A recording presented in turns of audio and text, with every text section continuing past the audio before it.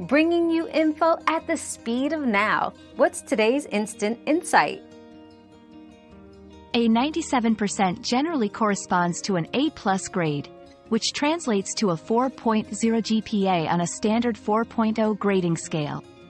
However, the exact GPA value can vary depending on the specific grading policies of your school or institution.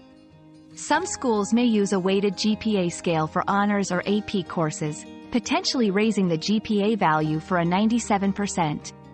It's important to consult your school's grading policy to understand how percentage grades are converted to GPA. Your daily dose of discovery ends here, but the journey of learning never stops. Subscribe and join us again for more answers tomorrow.